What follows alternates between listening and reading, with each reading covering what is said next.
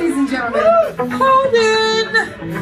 Hold that mic like an ice cream cone, brother. Right, right.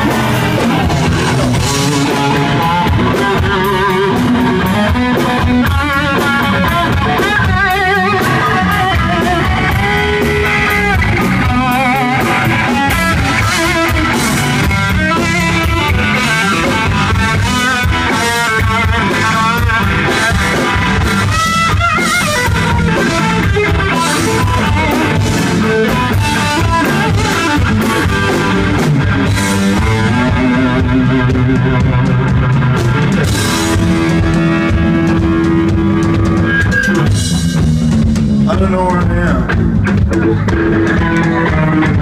am.